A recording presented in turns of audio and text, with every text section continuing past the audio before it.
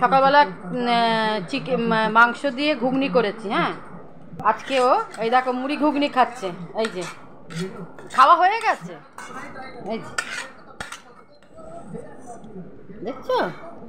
এত প্রিয়, কখন থেকে আমাকে বলছে, দিদা, আমাকে কখন দেবে মুড়ি ঘুগনি? কখন দেবে? আমি বলছি, দিচ্ছি, দাঁড়া। হবে, তারপর তো দেবো, বলো। আর একটু দেবো? এই যে দেখো, এই যে।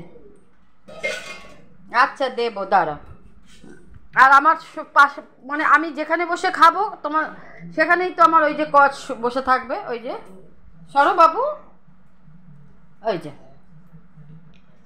আর এখন ভাত করব, আর এই চিকেন করব।